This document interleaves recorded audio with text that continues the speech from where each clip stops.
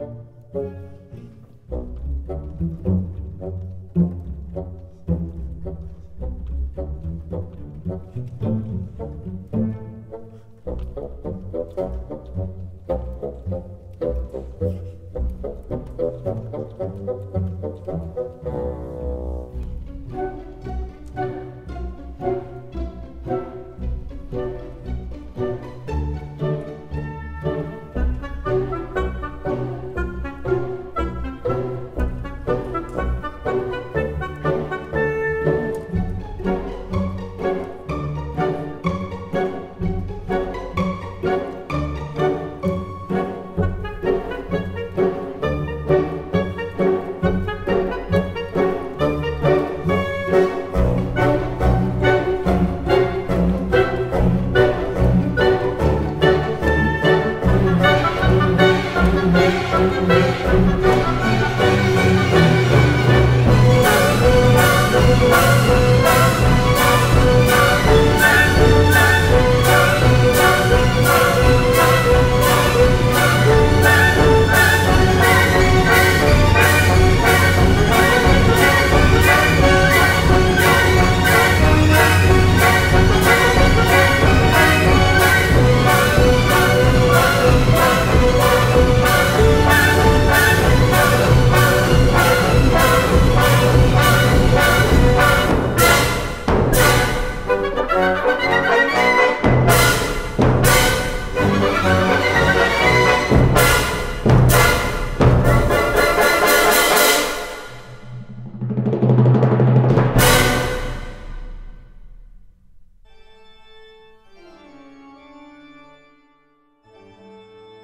So this is the story all about how my life got flip turned upside down, and I'd like to take a minute, just sit right there. I'll tell you how Freddizzle Fazberri played Scrabble in a pizzatorium and shit.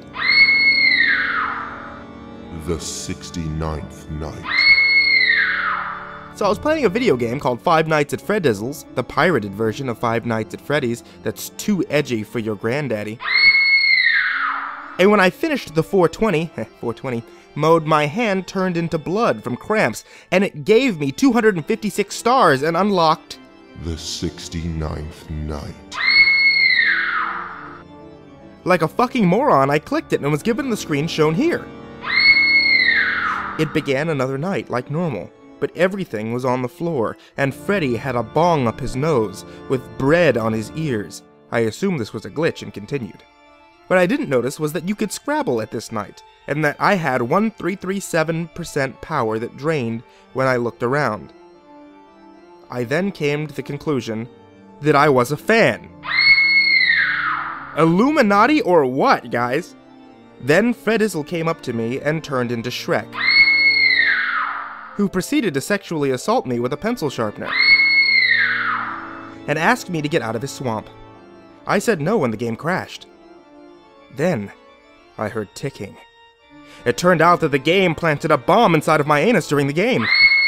Bruce Willis popped out of my computer, but failed to disarm the bomb, so I went parasailing across the ocean to Japan, where I was attacked by a giant tentacle made of bread. Wait. Freddy had bread in his ears. Are you ready for Freddizzle? My mom threw the computer away, so I can't prove any of this. But it was real.